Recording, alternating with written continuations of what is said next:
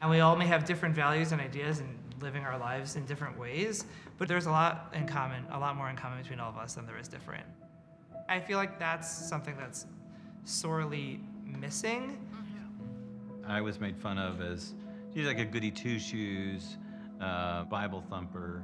Uh, square, old fashioned. Savages. They were going to brainwash me. Rich or greedy. Uneducated. Towel head, and a raghead, and a Middle Easterner, and an Arab.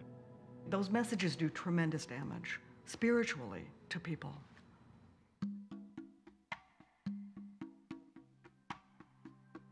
I'm a Christian, uh, non denominational. I practice the Sikh religion, S I K H. I'm a Muslim. Christian. Interfaith. The term that I would use is called yeshivish. Cradle Episcopalian. I'm a Jesus follower. Baptist born, Baptist bred, and when I die, I'll be Baptist dead. the challenge is people think they know who I am based on what they see on television or in film or, or wherever else they get their information, but they're all assumptions, and they're usually wrong. People's understanding of religion is really shaped by media, and they don't understand the social impact that popular media has. We have really well documented evidence that when the show 24, which was a terrorism related show, was on air, the next day you would see a spike in reports of Islamophobic hate crimes. Growing up, you can't help but internalize a lot of those narratives that you're going to look like the other and you're going to be discriminated against.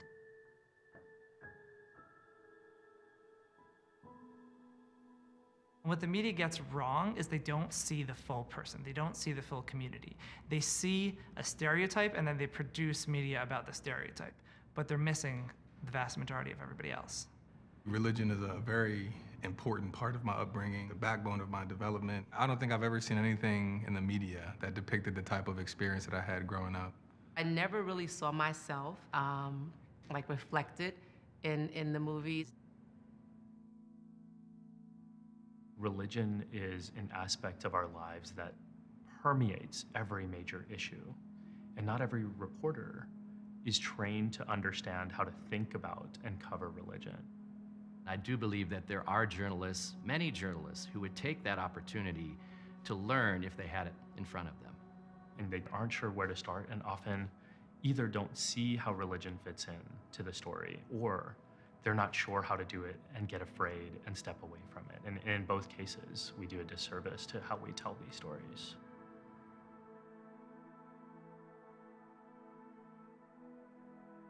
One of the knock-on effects of the, these portrayals is I think it probably fragments our culture, our society more. If someone is other, then it's very easy to, uh, number one, you don't want to learn from them.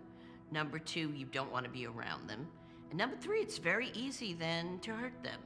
Yeah, anytime someone becomes the other, it's, it's a very dangerous thing.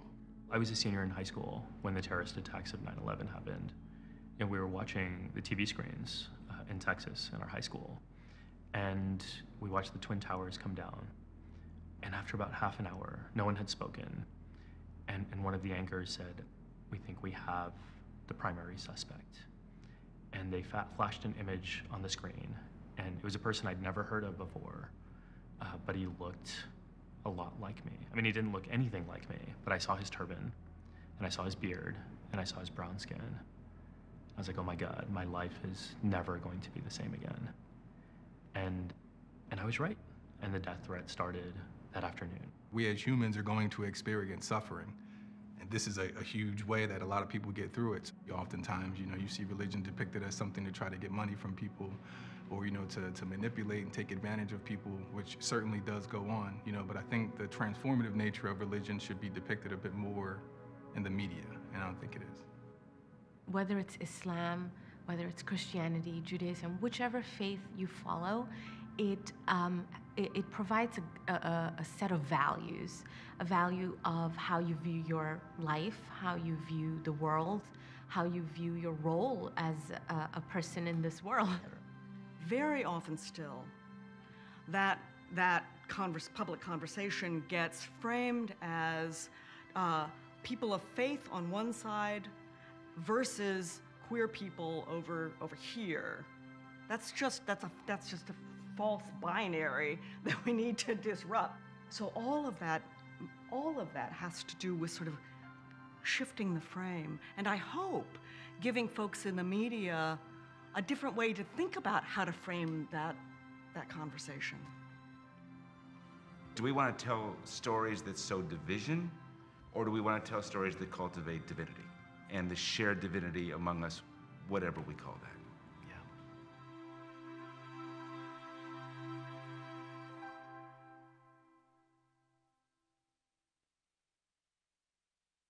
Ladies and gentlemen, please welcome to the stage Dritan Nesho of HarrisX. Thank you very much, everyone, for attending today. It's a pleasure to share with you the inaugural findings of the Global Faith and Media Index, which is a massive study that we conducted together with the Faith and Media Initiative and the Radiant uh, Foundation over the course of the last 45 days across 18 different countries, 9,500 respondents, the men and women uh, on the street, uh, of all different types of faiths and uh, denominations, or even uh, atheistic and uh, non believing, as well as 35 journalists um, in newsrooms across the world. And the goal of the study is meant to surface, in the words of journalists themselves, and in the words of readers ac across the globe, how faith and media is treated or uh, improperly treated in some cases, uh, and how these different stakeholders, which are part and parcel of the global public square, are reacting uh, to uh, issues and topics that relate to uh, coverage of faith and uh, religion across the world. The study was conducted across all major faiths and religions around the world.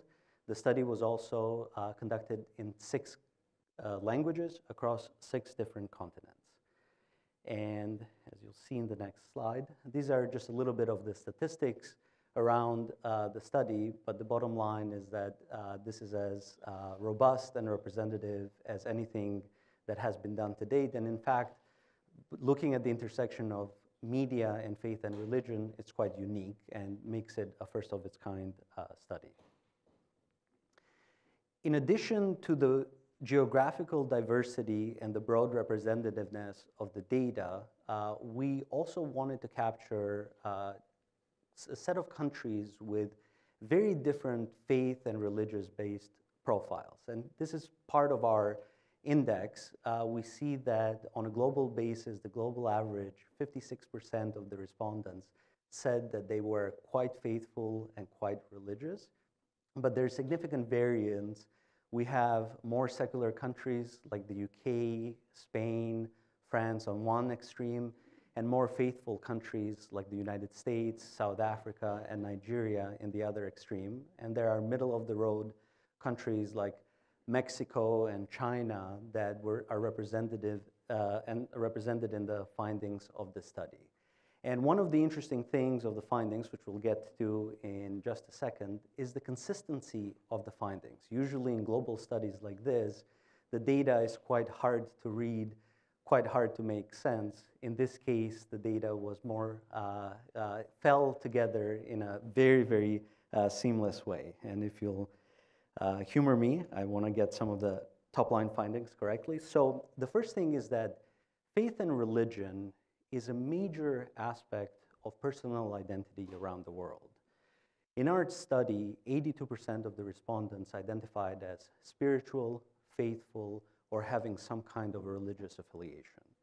So this is not a study about something that's not part and parcel of human experience and human nature, but rather the opposite, about something that affects over 8 in 10 people around the globe on a day-to-day basis and on a very consistent basis. At the same time, what was surprising in the, in the overall findings is that journalists within uh, newsrooms, again in 17 plus countries, felt that the coverage of faith and religion was becoming more and more marginalized and less a particular focus of the work that they are doing in the newsroom. And there's a series of factors that are leading to that phenomenon, which we'll get to um, in a second. And in a similar fashion, this is something that's going on and being noticed by readers around the world. 53% of our respondents said that the media, they feel, actively ignores religion as an aspect of society and culture today. 59% said that it's important that the news media covers a much more diverse set of faith and religious perspectives. And 63% of people globally said that quality content is needed uh, within each of their countries. So these are striking findings, majority findings. And the data is also very constructive, but also points to a set of challenges and work to be done. 61% across the globe said that media perpetuates stereotypes around faith and religion, a striking finding, rather than actively fighting them. 78% believe that such stereotypes must be dealt at the same level or even on a higher level than gender and uh, race stereotypes. So they are elevating the treatment of faith and religion to the highest category of what are known as the family of DNI issues, issues of representativeness, issues of uh, equity, and uh, it's, it's a very, very important finding. And over 8 in 10 also believe that faith organizations have to do a better job at providing more appropriate representatives, less spokespeople with talking points, and much more representatives that look like the men and women on the street and can speak to shared experiences and life experiences to help address uh, this point. So as we unpack this data, there's a series of findings that we'll be uh, looking at, and they all point to a series of um, next steps that have to be done, or at least readers around the world want to be done to address the issues that we are uh, saying.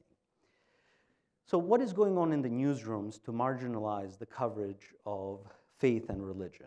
Um, the 35 plus uh, journalists that we spoke to, and they were of different levels, reporters, editors making decisions on content within the newsroom, and even decision makers on a corporate level uh, across the world. They pointed to at least five factors that they, are, they believe have led to the current state of coverage around faith and religion. The first one is newsroom economics, and then the way that they put it is that squeezed budgets have led, uh, have, have led to less specialists covering these topics of faith and religion, and more generalists doing so.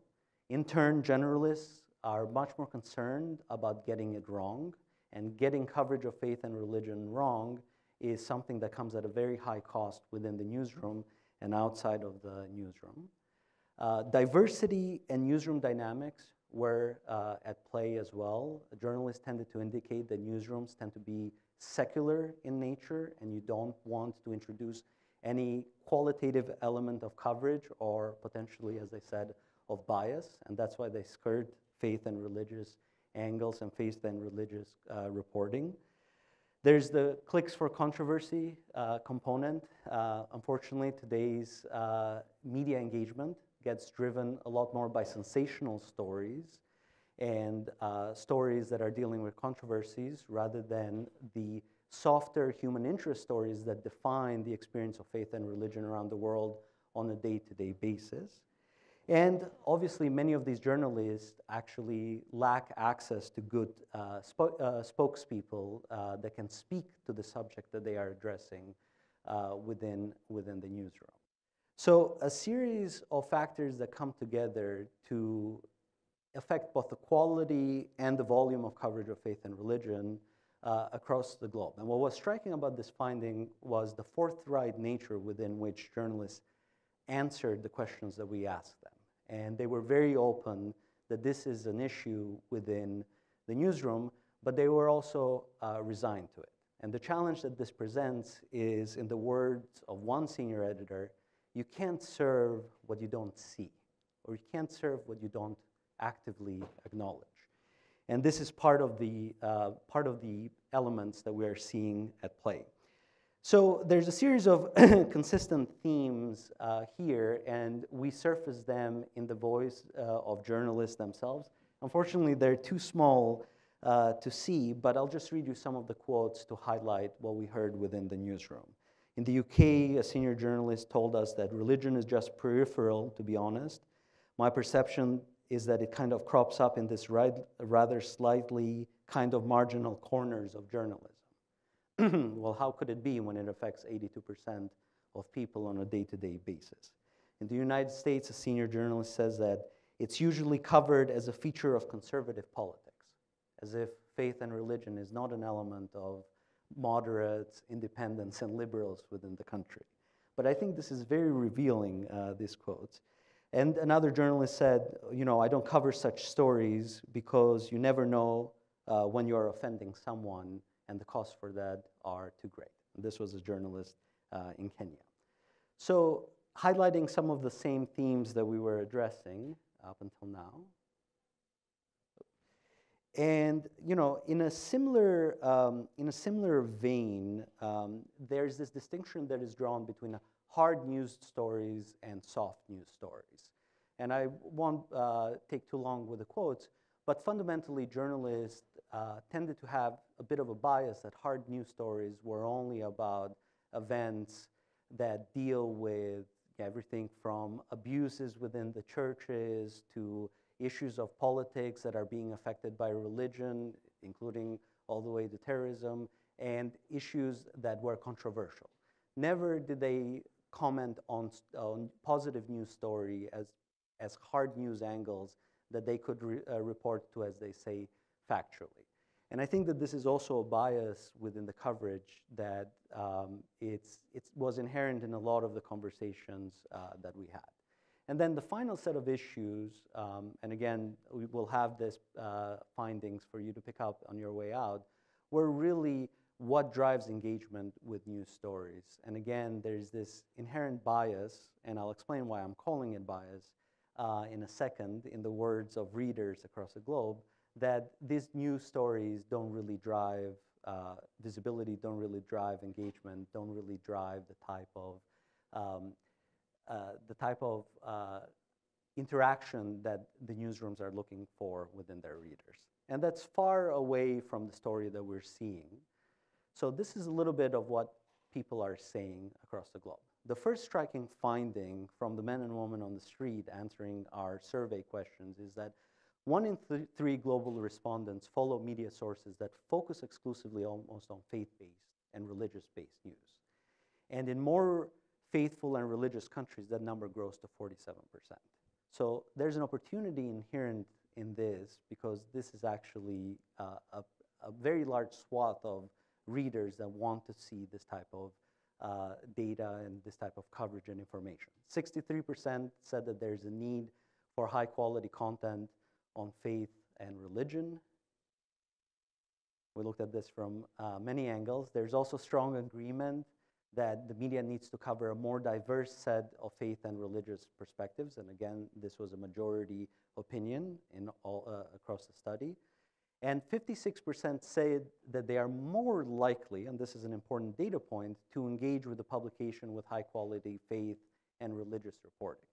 So addressing many of the issues that we saw in the newsroom is actually uh, good uh, citizenship, but also good business because all of the data that we collected shows that readers across, across the globe in the United States and beyond, the majority of them want more coverage of uh, faith and religious issues and actually more complex coverage uh, of the same. So, one back. So, looking at the challenges, um, a majority, 61%, said that they believe that media perpetuates faith based stereotypes especially around uh, uh, you know, the hard topics that they cover. This is a very striking finding, and it's a very consistent finding, as you can see, across the globe. Uh, and as I mentioned, 78% believe that these types of stereotypes should have the same or more attention as race and gender stereotypes. And when we asked in the findings, how are you affected by this? 43% said that they are often anxious about what they read around faith and religion, especially their own faith and their own religion and how they feel that is uh, mis, uh, misrepresented. We looked a little bit at the most perpetuated stereotypes that exist out there, um, holding back the advancement of women, especially within religious organizations, is one of those stereotypes. Being against LGBTQ rights and issues was one of those stereotypes, and then everything from uh, abuse to polarization and extremism uh, perpetuated. 81% of all respondents identified or could select one of the stereotypes that they were uh, uh, uh shown and whether or not they had encountered it uh, recently. And again, 84% also pointed the way to religious organizations needing to do more. Uh, so this is not just about, um, about the newsroom. Uh, this is not just about what is shared on social media, but this is also an issue of access. And over 8 in 10 said that more diverse representatives were needed so that they could associate with these uh, uh representatives. So to sum it all up, uh, the data presents an opportunity around the space, the better coverage of faith and religion, a challenge with all the issues of stereotyping that we see that are going wrong, and also several steps towards a path forward. What can be addressed within coverage and within the newsroom, and what also they expect faith-based organizations to do uh, to address some of these issues. Uh, so with that, I think we are done with the data presentation, and uh, I'd like to invite the rest of the panelists who will have a discussion around uh, uh, this topic.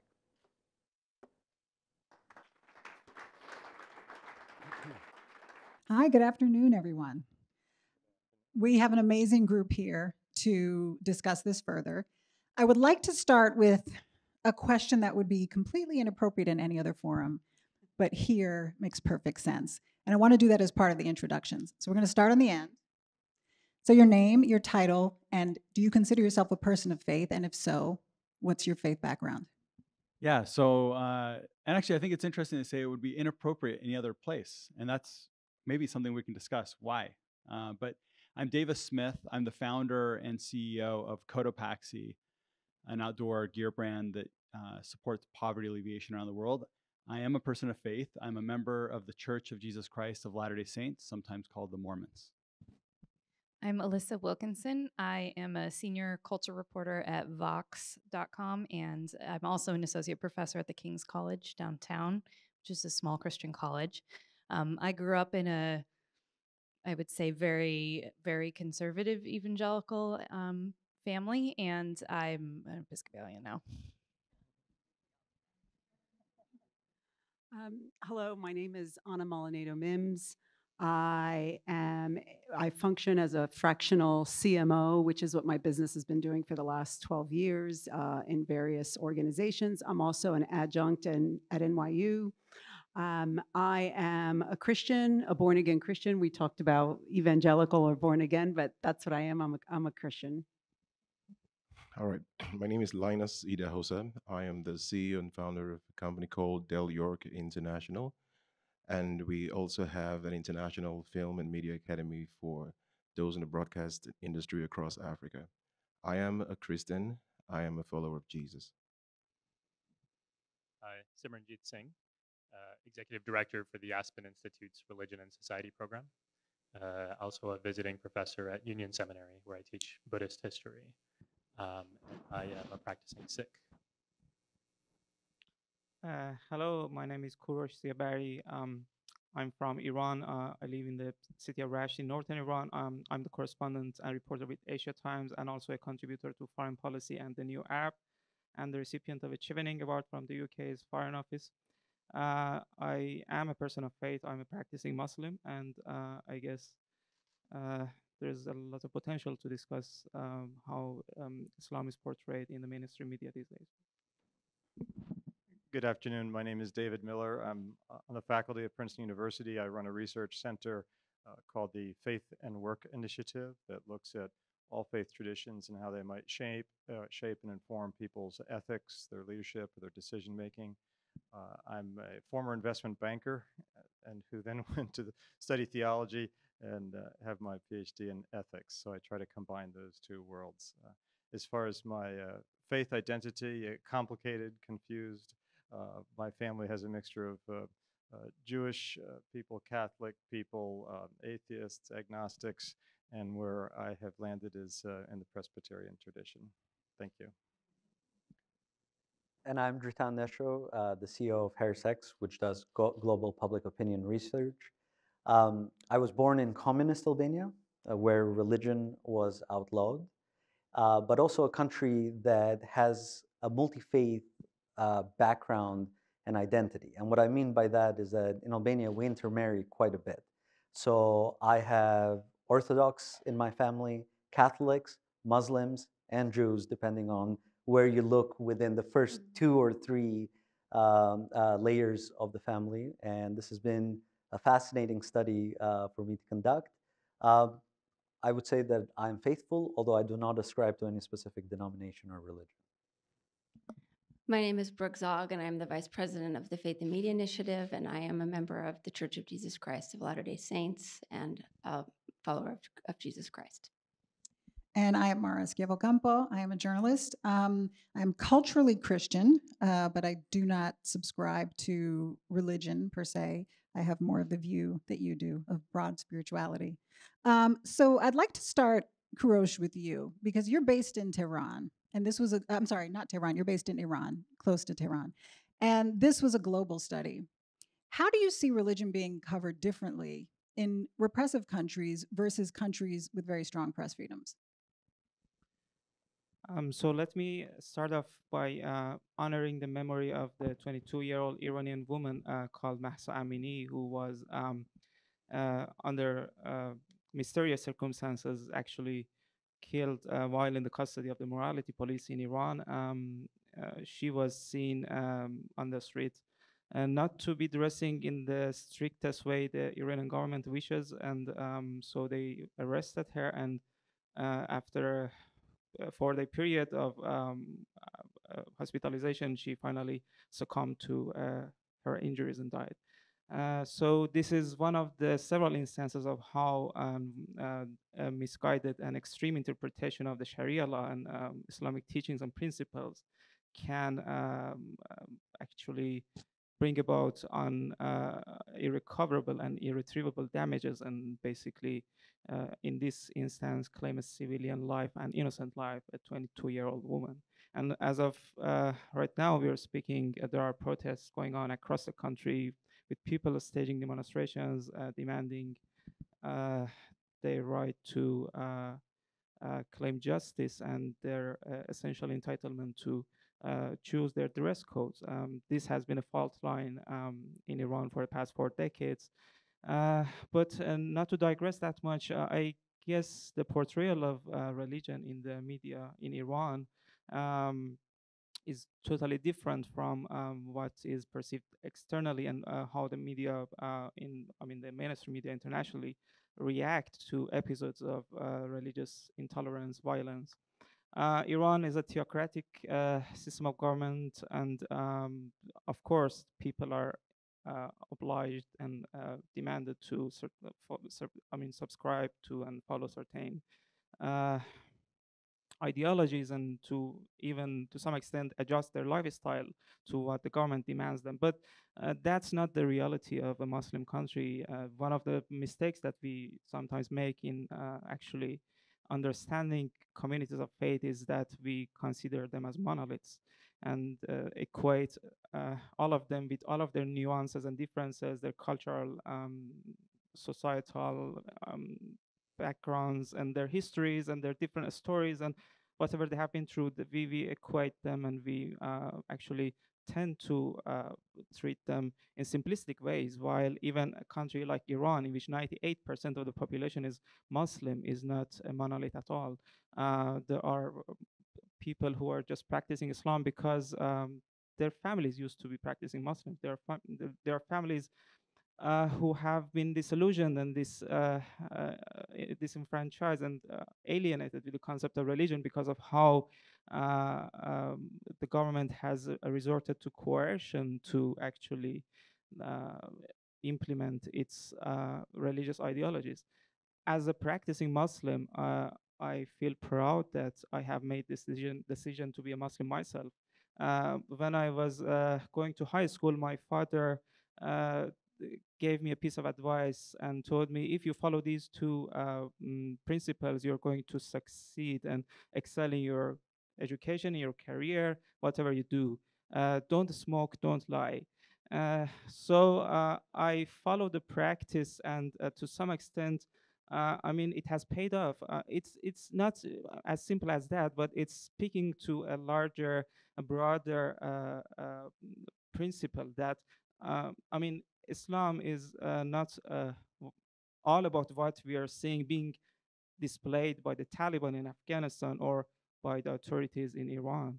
Um, Islam is about charity, is about respect, is about if you claim one life unduly, it's as if you have killed the entire humanity. Islam is about um, to treat uh, um, whoever is in your family, whether it's a child, whether it's a woman, whether it's a man, uh, with with the same uh, spectrum of principles and values. And um, Islam is teaching me to even uh, be susceptible and open to learning from uh, my daughter, who is eight years old. So it doesn't matter uh, if you're attending a university uh, class or you're talking to a child who is eight years old. Th- there are things that they have to share, and there are things that you can learn from them. So, um, I mean, when we fast during the holy month of Ramadan, um, it's all about philanthropy. It's all about um, actually relating to the sentiments and feelings and experiences of those who do not have a meal on their table. So, I guess um, these are the realities that have been with, withheld and concealed from the public eye because of how, um, first, um, misguided the policies of ma- many Muslim countries with uh, stringent leaders have been, and also because of how uh, the corporate media decide to um, give coverage to faith issues. Um, I guess uh, we have to um, just uh, distinguish between what uh, Islam as an ideology, as a lifestyle, as a culture is uh, teaching its followers and adherents to do, and what certain Muslim countries subscribing to an extreme version of political Islam are preaching and proselytizing. We can expand on that. I guess I haven't talked too much, but um, there's a lot to say about this coming from Iran, uh, a country with a rich uh, cultural civilization, with a rich and deep history, uh, which is not being represented well and uh, realistically because of uh, how we, uh, the people of Iran, and how the leadership in Iran are behaving. Simran, the media in general focuses heavily on conflict, whether it's in politics, whether it's crime coverage, whether it's war. How do you think that tendency towards conflict based coverage affects coverage of spirituality and religion? Yeah, I think it's it's it's a good question, and it's an important question. Um, and, I, and I'll take us back to two very simple concepts that are culturally active for us right now. Uh, one is around representation. Um, what stories are being told effectively is what we're talking about with representation. Who are we seeing? And and so typically, the reality in this country and around the world has been those in power are the ones who are considered normative, who have the power to tell the stories, and therefore are the ones who we see. They're the ones who are shown in their in the fullness and richness of their humanity. And what happens to everyone else? They're tokenized, right? If they're shown at all, you get single snapshots of who they are, and those tokenization representations are based on stereotypes, right? In America, that's the black man as violent, that's the Muslim as a terrorist, that's the immigrant as being a, a foreigner who cannot integrate, right?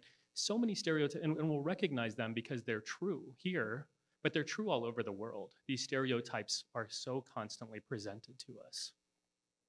And so then what happens when you don't have representations of these communities? And then we tell these stories on the basis of conflict.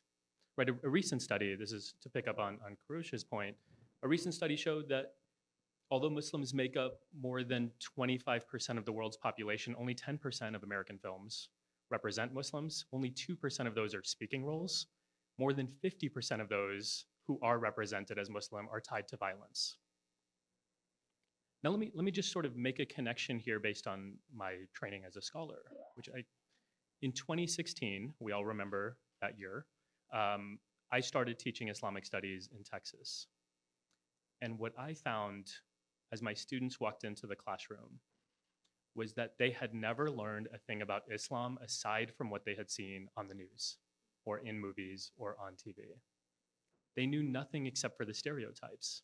And some of them, many of them knew that they were dehumanizing. They knew their perceptions were wrong, but they had nowhere else to go. I mean, where would they learn when it's not in the movies and the films and whatever it is that we consume culturally? And so, what happens when the only representations of communities are on the basis of these stereotypes? And so many of these stereotypes are on the basis of dehumanizing representations, violence, conflict, etc. I mean, of, of course, you're going to end up in a situation where I walk down the street and people see me as a terrorist. I mean, what else do we expect in this country? Right? That's there, there's a saying in our tradition, um, "Bije bik mange amrit veko ehoneo." It says, um, "You sow poison, and you accept you expect nectar. You accept sweetness. Like, what what are you doing? Like, that makes no sense." And so, I think it's it's clear to anybody who's looking, and to many of us who live through this, that the stories we're telling on the basis of conflict, on the basis of stereotypes, on the basis of violence, are putting us in positions where we are being dehumanized constantly. Like that's that's the consequence, and, and it's a real consequence for many of us. So, to that end, the need for more diversity, religious diversity in the media. Linus, do you think that religious diversity is an area that has been overlooked?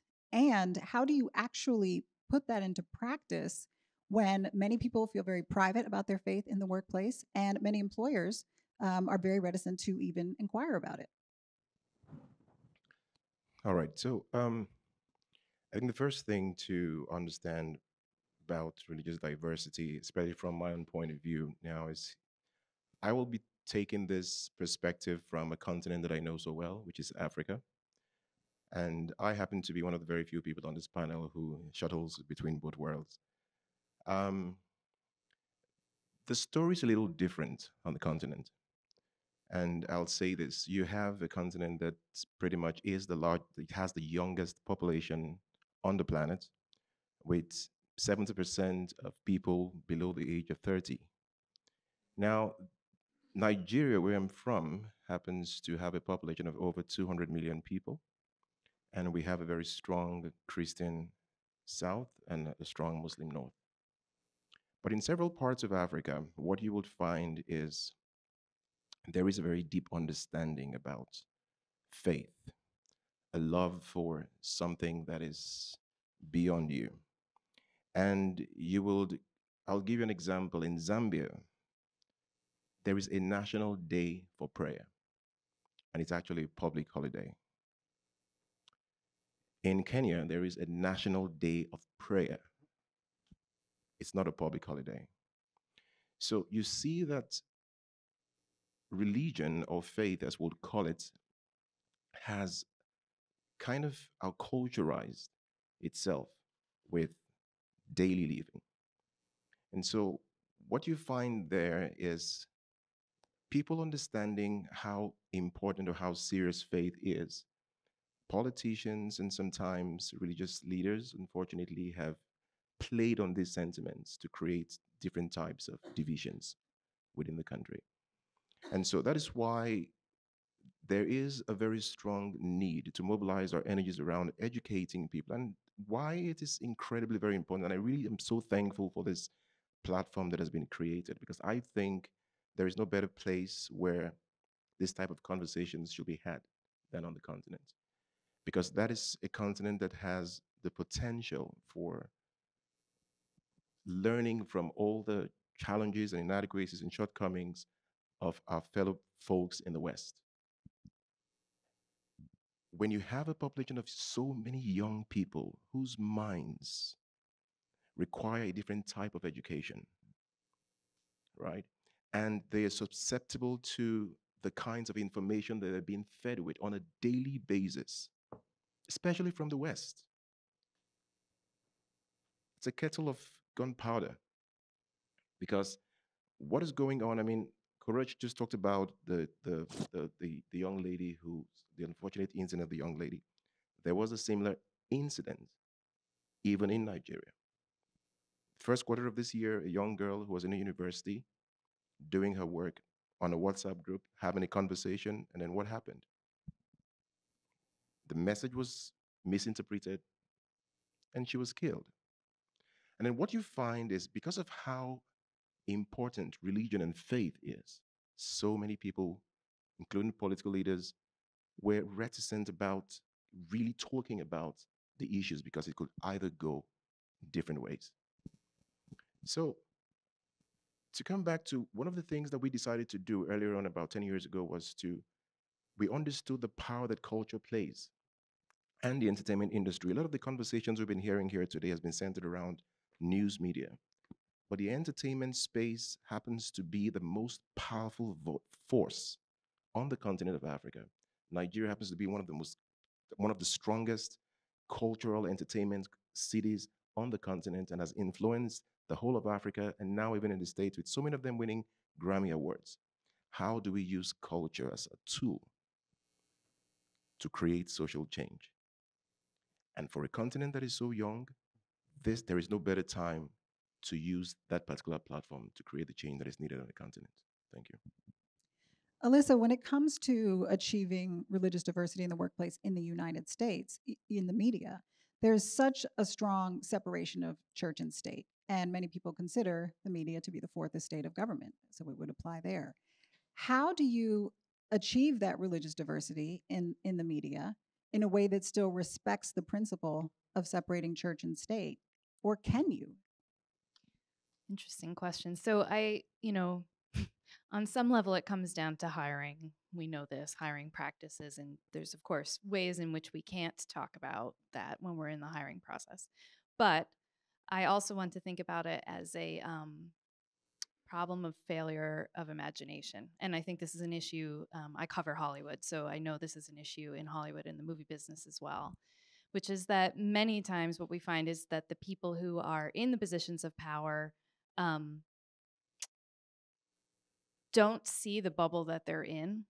Um, I've certainly experienced this, for instance, where I've pitched stories that I know for certain are going to be of interest to many, many people because often, from my perspective, I'm writing about something in evangelical culture. Um, you know, maybe the person I'm pitching to just hasn't been involved with that and doesn't see why writing about this album from the 90s is actually a great way for us to talk about what's happening in the present. Um, but I know that many people have because many people grew up around this album. Many people grew up around evangelicals, right? This is not like a hard thing to talk about um, in America.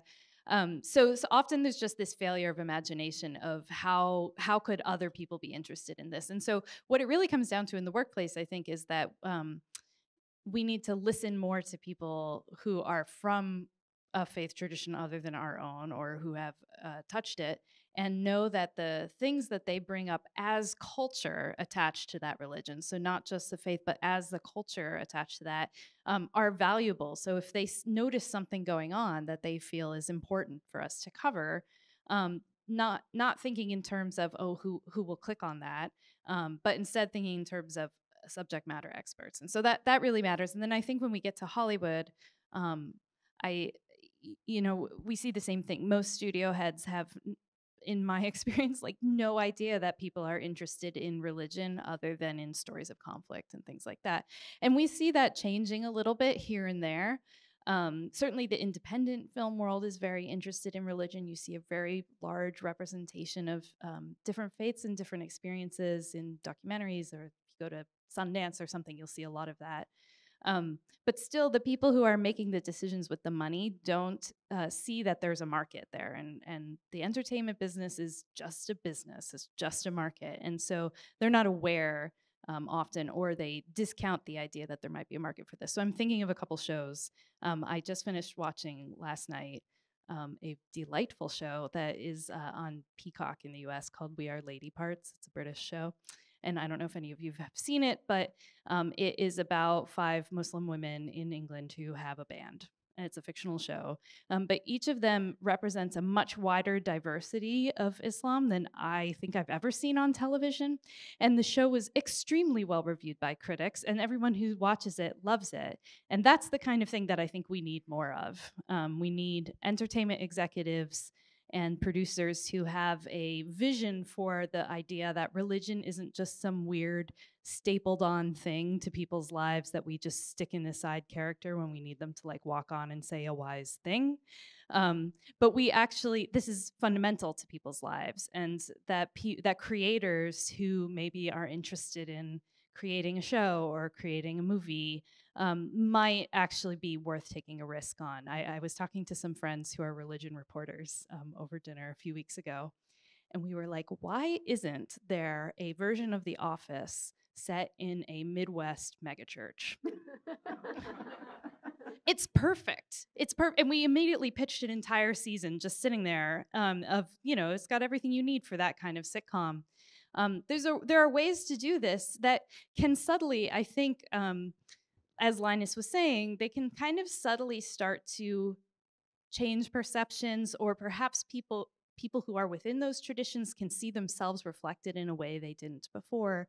There's all these opportunities that are uh, honestly just laying on the table. And I've been in conversations with people both on the news media side and on the entertainment media side um, who are who say, you know, we really want to connect with people of faith. We want to like you know find their stories and and find ways to help tell them and connect with communities of faith and what they run up against a lot of the time which is what was sort of found in this study is a distrust that you only want to tell our stories um, because you know you're going to make fun of us or you're going to paint us as one one kind of character and that is uh, earned mistrust but the way to overcome it is to keep trying um, and not to sort of lose interest in telling those stories um, and so we you know as a result we see a vast array of different kinds of stories about people of faith being told but we don't um, we could see a lot more. There are a lot more people of faith in the world than you would think just by watching american tv I would definitely watch your show, by the way, the mega the mega church comedy. I think this is a really good idea. I if you run NBC, come talk to me. Um, I'd like to pivot to the business world. Uh, Davis, how can business leaders create an environment where employees feel comfortable bringing their whole authentic self to work, including their religion, while also respecting those who want to be private about their spirituality? Yeah, this is this is a big challenge for CEOs. Uh, so I run a, a business. Uh, I mentioned it before, but called Cotopaxi. Uh, we're a B Corp, a business committed to doing good in the world, and um, we value diversity uh, a lot.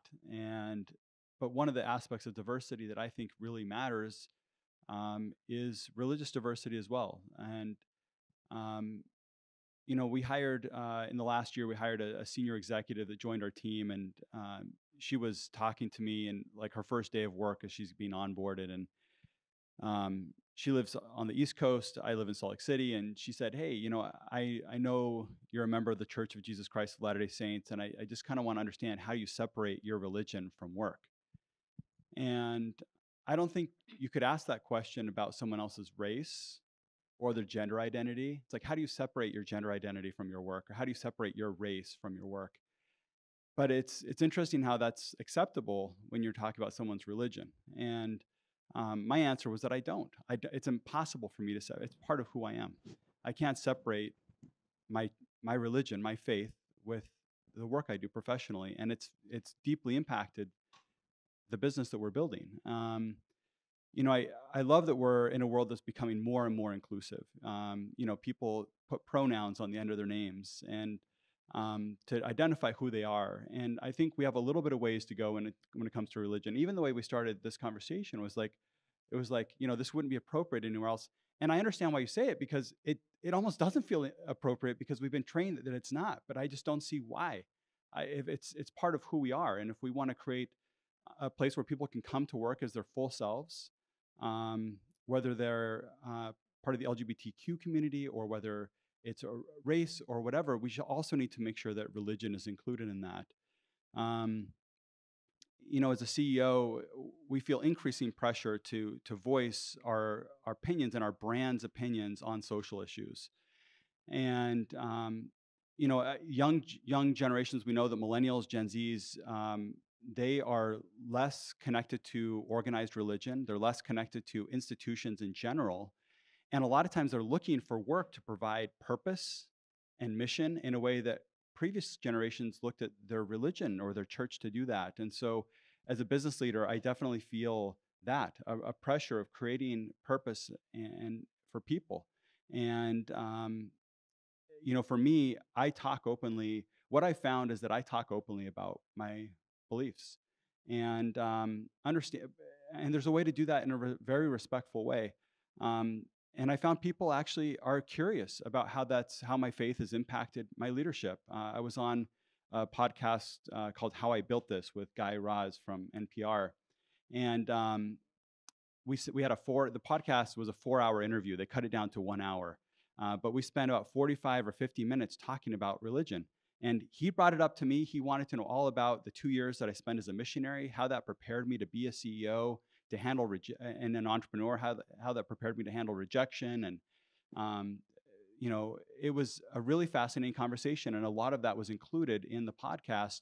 And um, you know, that was that was done uh, two and a half years ago. I get I get messages daily on LinkedIn, um, random messages from people saying, "I just listened to the podcast. I'm from whatever faith. I'm so glad that you were comfortable enough to talk about your faith." And so um, I found that people are interested in this. And I think by leading by example as a leader and having the courage to talk about something that really matters to me deeply, it gives opportunities for those in our company that are of other faiths as well to talk about their faith, to, to include that as part of who they are. You mentioned that you spent a few years as a missionary. Where? Yeah, I, I was in Bolivia. Um, and uh, I actually grew up when I was four years old. My family moved to Latin America. My dad had been a, a, a missionary when he was 19 to 21, and then later on started his career, professional career. And because he spoke Spanish, we moved to Latin America. So I, I grew up in Latin America. Uh, when I started Cotopaxi, I actually moved uh, to the United States from Brazil. Um, so uh, I have a deep connection in the United States, but also in Latin America, where where faith is a little more open there. Um, I found that it's quite different here in the United States than it was there. David, businesses are about making money. They're not nonprofits. What's the business case for increasing and enhancing coverage of faith and religion in the media? First, if I could be so rude, let, let me slightly disagree with even how you framed the question. Businesses need to make money to survive, but they also need to provide goods and services to the world. And most businesses, I think, get that, particularly small and medium-sized uh, family enterprises and so forth. But even the, even the big uh, big corporations. So, but to the thrust of your question, what's the business model for this conversation that we're having and what FAMI is all about, the Faith and Media Initiative? So let's do a thought experiment. Pretend all of you are a CEO of a media outlet. You're shaking your head, right, Oman? Pretend, pretend you're the CEO of a media outlet. And I'm coming in to pitch something to you. And I come in and say, Would you be interested in a product that reaches over 84% of the globe's population? You have 84% of the globe as potential clients, customers, buyers, clickers, eyeballs. Yep, tick, I'm interested. Tell me more. What if you then said, and this is right in the sweet spot for diversity, equity, and inclusion. It just nails it. It hits it out of the park, the DEI metrics. Yeah, tell me more. And you know what? People are really interested because there's no competitors out there. You'll be first to market. Well, there's a few competitors, but frankly, they're kind of lousy. Sorry. Uh, but you, you could just take this to a whole new plane. By now, I'm really leaning forward, saying, Tell me more. Let me bring in my B- VP of business development or whatever it is. And of course, then the reveal, the reveal. It's talking about spirituality, faith, religion in ways that are inviting, that are thoughtful, that are intriguing, even humorous at times. Because let's face it, whether you're Sikh or Muslim or Jew or LDS or whatever, we all bleed. We all have family problems. We all get sick. We all laugh. We all like community. We all like to eat, drink, whatever. So we're, we're, there's a story to tell here, or stories plural. And, and I would go further if the conversation got a little bit deeper, if they're actually saying, yeah, to tell me how to do this. I'd say you might break your categories of coverage into two categories. One, and this is kind of me using the, the theological language. Uh, one is orthodoxy and one is orthopraxy. So orthodoxy means right belief. So whatever your tradition says, and we realize even within traditions there's disagreements of, of what the correct belief is. But one would have an educational component. So you could learn about your neighbor and people that you don't know anything about and their backgrounds. And that could be, wow, a service to society like a couple of you have said, because if you, if, where else are we going to learn this? Because we don't learn it in our colleges and our high schools. The other part, orthopraxis, that means right practice. So how do you show up? How does your faith make, if at all, a difference in how you conduct your affairs? So there could be amazing human interest stories from the corporate world and and not just sort of church stories or temple stories or synagogue stories, but from where people live and what they do. I, I think the potential is huge. It's rich. You have to think it through. You have to hire the right people. Like any new business development, you have to put money into R and D. So you you can't just take the uh, another journalist who has a different beat and say we want you to do this now, unless that person is supremely talented. I, I think it's it's very exciting. Uh, so that's our thought experiment. And, and I, I think you'd close a lot of deals if you had the chance to talk to the right people. Thank you. So then, Ana, what tools and resources would be needed to improve coverage? Let's say he comes to you, he pitches you, you say, Great, I'm on board.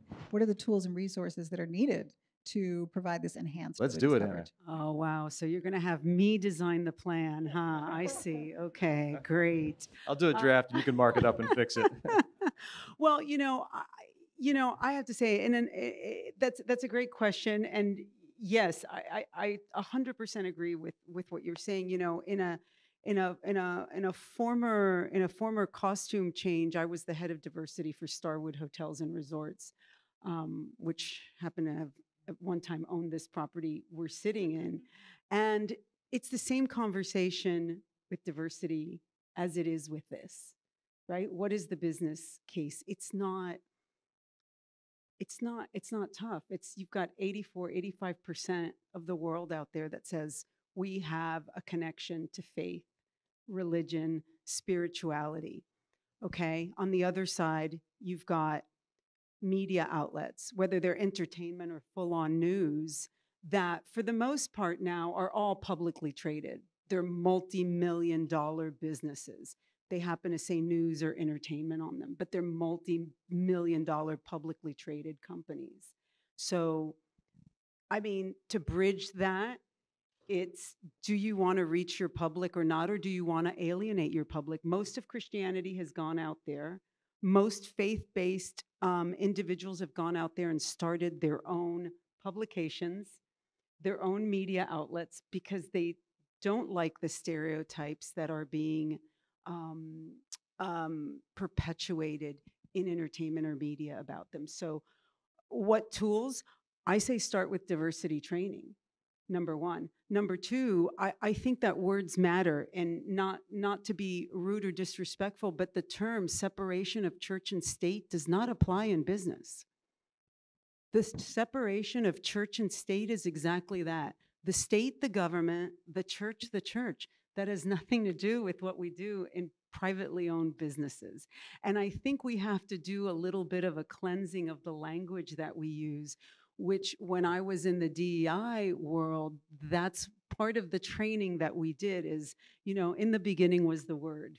And the word becomes life, and our words have power. And so I think that's one of the tools is how how do we speak about um, this and in how we learn to uh, speak to one another about our beliefs we start making each other comfortable uh, with how with how we speak and and i do want to address another thing the thought that news and entertainment that ship has sailed news has become entertainment I, one of one of the classes i teach is the practice of public relations and when i have my students do um, these PR assessments to get them thinking in a certain way. You know, I, I try to define to them, okay, bring me news, okay? I don't want to know what Bad Bunny did last night. I need you to bring me news, right? Um, but but it's that it's it's that sense of of if it's not negative, like we were talking about, then it's not going to be covered. And if it is covered, then it's in a negative way. And then how do we get around that? And I think it goes back to the training. It has to start there because I think it first starts with the DEI issue. We are, it, it is that far behind, in my opinion, what, what I'm seeing. I hope that that's helpful. Um, I do want to get to solutions, and I would love uh, Brooke and Dritan to lead that conversation. So we're going to get to that in just a minute, but I do want to take a, do a couple more questions. Feel free to jump in because you know the- there's such a great panel, so many amazing perspectives, and we just have a few more minutes till we'll shift to solutions. Um, Kourosh, many would argue that the mainstream media reinforces this east-west civilizational divide. How do you think the media can have the reverse effect? How can they work to bridge the gap? That's absolutely correct, and that's the reality of our time. That uh, the mainstream media, the corporate media, driven by certain interests, driven by uh, the agendas of their owners, are actually perpetuating the hostility that has been bred and reproduced, especially since the 9/11 attacks in the United States. Um, I guess uh, the global rise of Islamophobia is to some extent attributable to um, how the Muslim leaders are conducting themselves at home and overseas, and also uh, to how um, the media are portraying um, Islam and other faith communities. Islam is, in particular, um, uh, prominent here because there are uh, leaders with ambitions to actually embrace uh, the idea of political Islam, to uh, blend and combine their statecraft and leadership practices with Islamic thought and Islamic uh, values, which isn't working actually. And we're seeing the failed experience of Iran um, and the failed experience of uh, I mean, it's not being uh, done in the same way in Turkey, but even the people of Turkey are protesting the, the religious motives behind President Erdogan's um, uh, push to actually um, proselytize Islamic thought values in, in the society. Uh, but why uh, the media are doing this and how they can uh, reverse the role? Uh, first, we should uh, understand that uh, as media people, uh, I mean, personally as a journalist, I have done several stories about different faith communities, including Muslims and others. I have, uh, in a setting in which it's not really favorable to the authorities to talk about religious minorities because they want to make sure that uh, Islam is a dominant narrative. I have written articles about anti-Semitism being uh, uh, pro- proclaimed and proselytized by the Iranian authorities. I have written articles about the community of Zoroastrians in Iran being a forgotten minority because that was the birthplace of the first monotheistic uh, religion in the world. And now the majority of them have already left the country and are looking for, for their prospects and their well being in other places, including India, in, in which there is a very flourishing and thriving community of Parsis are Zoroastrians. So I guess uh, as media people, as journalists, as um, media owners, as media managers, practitioners, we should first start uh, initiating a conversation with people, people who practice different faiths, to understand that each of them have got a certain story to narrate and to retell, and, and these stories need to be shared. Uh, when we treat societies as uh, monoliths, like I said in my previous response, uh, we uh, often uh, actually run the risk of uh, miscalculating and misjudging their ideologies, their values, what they stand for, what they represent. So I guess uh, we should have more uh, reporters, more correspondents trained um, who are able to dis- distance themselves and detach themselves from their own biases and prejudices to go to countries to talk to people to uh, share their stories.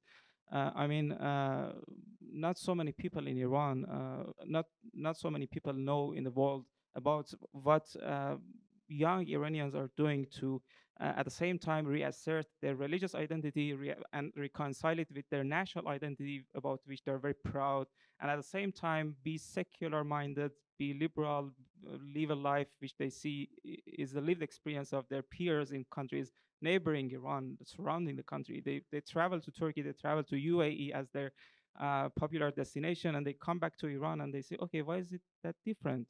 Uh, are we not all Muslims? So uh, what does that stem from?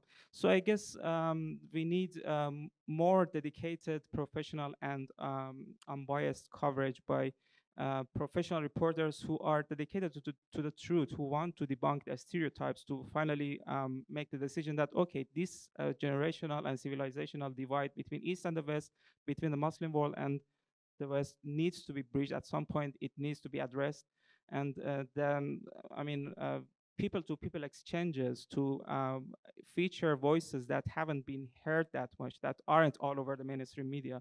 And they are valid and they're authentic. Uh, in, in the mainstream media's coverage of Iran, for example, there are not so many authentic voices coming out of Iran. Most of the Iran experts that you have got in think tanks in DC and New York, in London, even don't speak Persian, which means they don't understand the country that much. So, uh, I mean, uh, we all need to uh, come to this conclusion that at some point this, uh, and again, I should uh, certainly um, reaffirm that this is partly, to a great extent, the responsibility of uh, governments in our part of the world to to correct their practices. When you uh, reproduce for several years and decades a slogan that is wishing death to a different country, when you put the flag of a different country on fire, and do all of these vile and uh, uh, repugnant practices under the name of Islam, uh, then it's quite, uh, I mean, natural that people will develop a hostility to your faith, to your uh, community, to your values, to your views, and to what you stand for. So I guess um, part of it is political decisions that need to be made, a determination, for example, by Muslim leaders in my country, in elsewhere in the Muslim world, that uh, the path to uh, reconciliation between the East and the West uh, needs to be traveled through um, honest, fruitful conversations, uh, then, and, and, and for them to stop reproducing hostilities, the part that needs to be uh, uh, under, under, under, undertaken by the mainstream media is that they need to train their correspondents to be able to detach themselves from their biases and to report uh, stories that are being uh, withheld and not commonplace. Um, I mean, um, the majority of what uh, many of us have heard about Iran is about its nuclear program. So there are different sides to a country, uh, which we don't hear about. These need to be covered, and there needs to be dialogue incubated, and that kind of uh, facilitates. Um, i- uh, it's one of the first steps, and uh, then I guess we can get to a point that the East-West uh, divide uh, starts to be uh, breached. Just to make a, a quick comment, and Linus was triggered by something you said earlier about the the young continent and the the large number of youth, and I don't think we've really talked yet about the younger people. And your survey, uh, uh, had, if I recall, uh, 23% of the surveyed population were 18 to uh, 34 years old. So I look at my students, uh, which was 10% of your survey, uh, that are 18 to 24, and they're really interested in this thing. They're curious. They're hungry. This this whole topic. That in fact, they'd probably be my my, some of my students. They'd probably be laughing at us, like, "Well, no kidding, Sherlock. Like this is this is what we want. We yearn to have honest conversations. They don't have the the baggage that I think the certainly the the the, the, the greatest generation and the you know, the baby boomers they don't have that baggage. They want to live an integrated life. They aren't afraid to talk about God or spirituality or faith. And also the atheists and agnostics are interested in this too. I, I survey my students. It's I teach a course called Business Ethics: Succeeding Without Selling Your Soul. That was the student's nickname for it, and so I just gave it the name. Uh, and and I, w- I look at ethics through the lens not just of law, like we usually do, or not just through the lens of secular moral philosophies, but I look at it through the, uh, for scope and scale reasons, through religious traditions, focusing on the three Abrahamics, saying what does Judaism, Christianity, and Islam have to say about leadership, ethics, decision making, how you treat the other, what fair trade looks like, and so forth. And about 18 to 22 percent, I survey my students about their self-described uh, identity anon- anonymously, and 18 to 24 percent are self-described as atheists or agnostics, and they're signing up for an elective class. I never would have done that when I was in college. So, so somewhere in this mix, I think we need to turn to uh, the, the Z's and the new generation to say, help us think this through, because they're also the ones that are going to have the big pocketbooks pretty soon. So I, I just David, wanted to throw could- that in the mix. If I can follow up on that, how do you then reconcile that with the fact that people are increasingly moving away from organized religion and there's also increasing distrust in religious institutions? Yeah, and I think the key word is institutions. If we look at Edelman trust barometers, uh, all the big institutions, government, uh, uh, they're in decline, in trust, and certainly religious ones. And why? Because sadly, the media, to generalize, says what is it, 60 plus percent of the stories are scandalous, they're salacious, and the youth, they don't like um, falseness, they don't like uh, um, posers, they don't like hypocrites. Th- they don't mind disagreeing with you, but they, they want to trust you. So I think if you move from the institution to what what is the belief that people are actually talking about? Who is Muhammad and who are the great thinkers and who was Jesus? They're interested in that question. What did they have to say? Don't give me the institutional um, shtick, if you will. I, I think the, a fresh approach needs to be taken, and I think they'll help us figure that out.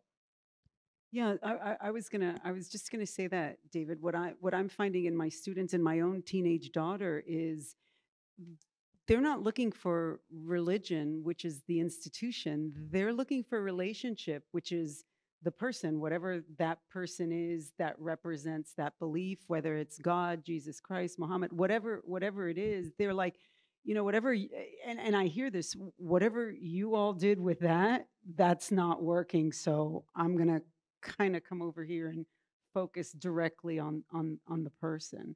So I, I mean, I, I hear that from my students also. And the Edelman Trust Barometer, which is something that I bring in every year in class, um, media is up there with government on the top two that nobody trusts because of the scandal, because of the lack of authenticity. And guess who's replaced the two of them in that in that barometer with the number one institution that most of the world trusts? It's business. Business leaders, exactly. It's business leaders. So now people are looking to business leaders to say, you know what, we're looking at you to fill that societal void. What are you going to do about the environment? And what are you going to do about all these other social problems? So I think there's an opportunity. I'm saying that because I think there's an opportunity also at work now vis a vis DEI to say, let's talk about our faith more because it is fundamental to who we are as people. And like Davis, I mean, I am who I am all the time. I don't separate the fact that I'm Cuban or an immigrant or that I'm a Christian when I walk in the door at work. And can I say something? And I Yeah. think, so Linus, and then I think Alissa, you had a comment on this, and then I would love to turn to solutions. All right, great. So, what what is really very important here, and I think the operating word here is these young people. And I, I really think that we, everyone in this room, should really pay attention to what is really going on in that part of the world and even here as well, because the consumption is happening on a daily basis. We're consuming all types of things. We're feeding our flesh with stuff, but our spirits are being fed with things that are coming out from places sometimes we do not understand their origins. And this is this I the understanding I had about United States, for example, I grew up in Lagos, right, from a very remote place in Lagos. And everything I knew about what the United States looked like, or some beautiful buildings and all of that, came from what I saw in- in Hollywood movies. Everything. Our minds were framed by the things that we saw on television right? And when I think about my son and what he watches sometimes, I go sometimes to him to watch with him because he's being fed with loads of information on a daily basis, and there's no leadership to guide or mobilize the energies in the right direction. So if we have an opportunity to create something that helps us begin to curate the types of stories that would help build the minds of these people, I think it's something that we should begin to pay a lot of attention to. Like I mentioned in Nigeria, for example, in the business community, you find that for the first time, well, not even the first time, you, you find people start off business meetings with prayers in most parts of Africa. Business meetings are started with prayers. I mean, I've not seen, I've, I can hardly think of some countries here or um, within this hemisphere that actually do that. So the, the, the question is that is not the major problem for the, that's such a young continent. It is what is coming. And what we decided to do about 10 years ago was to build an infrastructure that would help produce the types of movies that would help reorientate our minds and give them a better sense of what religion is and what faith is and how they can use that as a tool to help move themselves forward. Hallmark TV, we used to watch it, was a family entertainment TV for most Africans. When it was taken off, a lot of us did not on we didn't have an alternative to what to watch. Right? So it, it this is a very passionate um, um, um, um, topic for me because every single thing that we do is centered around what we're consuming, and that is what is resulting in the things that we are producing out. You see a lot of, loads of folks who are in drug, drug and crime related issues. Medicine to an extent, cannot solve those problems. They get into depression. I have a very good friend of mine whose daughter is suffering from chronic depression. And why? Because of drugs. But until she's a different, they, they moved from country to country looking for all types of medication for that ailment until they found someone who sat with her and began to speak a different language to her about her faith and about a different sense of spirituality. And I tell you today, she's a totally different person. So I think there should be a lot of attention paid to this, and I think it will go a very long way for us. Alissa? I just briefly wanted to say that I've been teaching for uh, undergraduates for 13 years at a college that primarily draws uh, students from evangelical backgrounds. And um, part of one of the courses I teach on postmodernism is talking about um, the postmodern condition being partly that your religious, um, your faith is uh, embodied by your lived experience and not by assenting to a list of rules or propositions. And when I first started teaching, they were young millennials and they basically didn't know what I was talking about. And now they tend to understand it. Um, and if there's one thing, and I believe that's why a lot of them who go to church regularly and read their Bibles and pray and all of this stuff still would tell you that they are not uh, part of organized religion, which they obviously are. But for them, they just don't want to be connected with that thing over there. And so, um, so one thing that art is really good at doing is embodying lived experience and that's why i really appreciate whenever i run across art that uh, embodies the lived experiences of people from religious traditions other than mine um, because it doesn't tell me what they believe but it tells me what it is to be them and that's what art does best So then, looking ahead, Brooke, I'm going to start with you, and then Dritan, I would love your thoughts on this as well. What specific things can be done to improve coverage, and who is doing coverage well right now? And and that I would like to hear from the two of them. But at some point, if any of you have notable outlets or individuals who you think are doing a really good job, um, I think it's important to look to those as well. If I could just bring back to one point, um, when we were working with Dritan to get the data that they had worked on on this global study, which was really exciting, it was at the time that the, peanut, the Queen had passed away. And I quickly looked at an article that had a quote from her that talked about herself, but as an institution, saying any institution that expected loyalty should also expect criticism. And I think that it's important that the Faith and Media Initiative is recognizing that both faith religious institutions and media institutions are actually incredibly valuable to society, that they bring tremendous good, um, and that both would be um, should expect some criticism and look at ways that they can improve. And I think that when we tackled the survey with HarrisX, it was our customer survey, like customer success survey of how are we doing and how can we do better. And because ultimately that's who these two institutions are serving is people.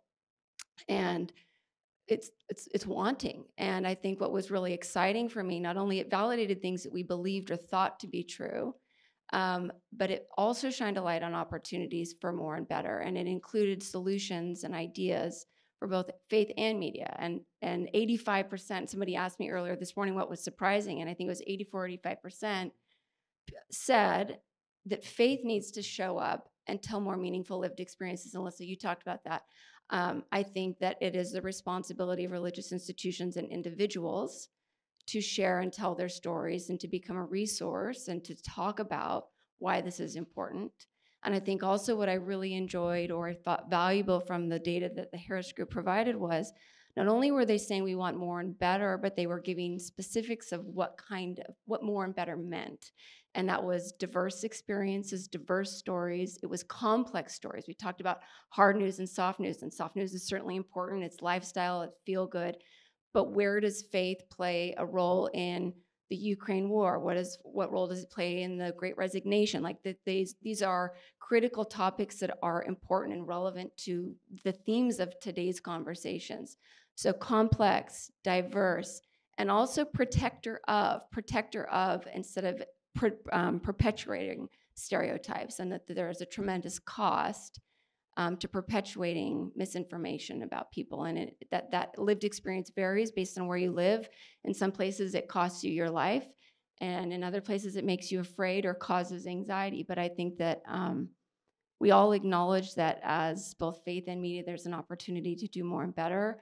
And my goal um, as representative of the Faith and Media Initiative is we really are trying to broker collaborative conversations between these two institutions to better understand each other. And we were at a roundtable earlier yesterday when we were talking about this with environment and media, and that before they, for a long time, they didn't speak, and now that they are, they were strange bedfellows, and now that they are intimately connected. And I think the same is true and necessary for both faith and media institutions to come together, broker more healthy conversations.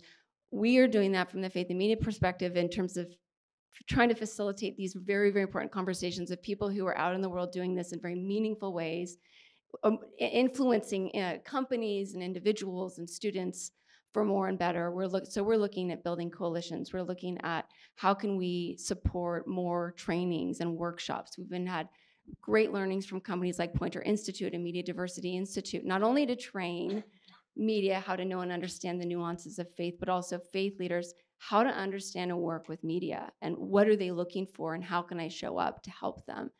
We're also looking, I think it's incredibly important, modeling. How can we recognize and spotlight those are doing it well? We did some on the interviews that you guys saw earlier on. We were asking people, and some of you are in the room today, stories that they remembered seeing where they did get it right. And they talked about um, Touched by an Angel or MASH, where they saw a figure that represented them, or um, so I think that modeling or showing, recognizing people who are doing it well um, is and, and training and, and conversations like this. And then I think also ongoing research and data to inform how can we do better, where can we do better, um, trend spotting and op identifying opportunities. So I'd say for me, those are kind of the, the pillars for, for improvement. Dritan, who's getting it right? Well, in this study specifically, we didn't want to uh, have readers rank the sources that they read, but I will tell you that hmm, from the perspective of the direct interviews that we did in 17 plus countries with representatives from the journalistic world, they themselves would say that no one is getting it right. Um, what was surprising was the degree of acknowledgement that this is an issue also surprising was the resignation which they offered to it. This is the new reality. These are the newsroom economics. This is how the social media algorithms work and what can we do about it. And I think that this is where the study, as Brooke mentioned, is very valuable because it does point the way to several solutions. There's a set of core themes here transparency and openness from both faith organizations to uh, provide people and representatives with lived experiences rather than spokespeople with talking points, but also transparency within the newsroom, right? What is the process uh, that occurs to treat faith and religious uh, uh, stories? Most newsrooms do not make that available. In fact, we spoke to a senior editor formerly of Bloomberg that would say that um, faithful editors used to meet in secret to discuss religious and faith uh, uh, angles about stories because they did not want to be labeled and they did not want to be seen by their peers as introducing bias into the coverage or into the conversation because how do you speak about faith and religion? You need to speak from your own experience from the experience of who's being affected by the story and also from the perspective of society. So transparency and on openness are two core themes. To david's point you know some risk taking is very much needed. This is big business, um, but unfortunately, no one is actually focused on it. And you know, you have one third of respondents across the globe saying that they regularly access uh, faith-related news sources, specifically uh, faith-related news sources, and that number is as high as 47%, uh, much higher in more faithful, more religious countries like the United States or Nigeria or um, uh, South Africa. Um, and um, I would say that um, the last point uh, really is around the conversation. We were speaking with a journalist who said, Well, what were you hoping to accomplish with this? Do you expect this to be some kind of road to Damascus, the conversion of St. Paul the Apostle? And um, me and uh, uh, uh, my colleague from the Faith and Media uh, Initiative, who were answering the journalist, said, You know, our ambition was not uh, the road to Damascus that great, but our ambition was to provide a mirror. There is a literary genre from the Renaissance called the mirror of princes. Today's news media, or today me media of any kind, powers the global public square. It's the necessary infrastructure for information to go from point A to point B. sometimes well, sometimes badly, but it is and it will always exist. And by sourcing these findings without editorializing in the words of journalists and in the words of their readers in these countries, the hope is that there will be a conversation around this. And, you know, I think if people start picking apart the findings, then that would be a great day because there's a lot there to like, there's a lot there to dislike, there's a lot there that's constructive, and that also points to challenges. So I think that that's kind of my perspective on it. Uh, I'm going to let you have the last word on that. I see our clock is ticking. Um, as a TV girl, I get anxiety when we get to the last few seconds. Um, where can people see the full study? Brooke? Yeah, so, uh, sorry, uh, index.faithandmedia.com. We have a high-level summary of it. We've got the video that was shared today in a longer form with some additional vignettes, but then we also have Dritan's and HarrisX's data report available too there. Thank you to our panel. This was a great conversation. Thank you for your time and perspective.